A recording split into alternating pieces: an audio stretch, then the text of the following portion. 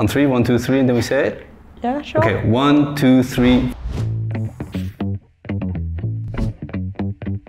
Yeah, you're a shoe person. That's right, I am. Yeah, it's true. Uh, sneakers. Sneakers only. Don't wear dress shoes. Um, really, a big reason why I joined a startup. You can come, you can show up, be yourself. I'm an early bird. On, on three?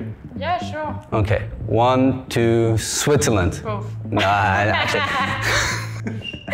Yeah, it's still a controversial question. I have to go for Word, but I really like Excel. I really like the, the preciseness, the technicality with it. I think overall it's also like mind-blowing sometimes when you can't get to the result you want to get and you don't know why there's this discrepancy between the figures. No, absolutely. But look, that, that's the beauty, right? Finding finding this difference um, in, in Excel because you know it always needs to add up. Um, so me, yeah, Excel any any day of the week.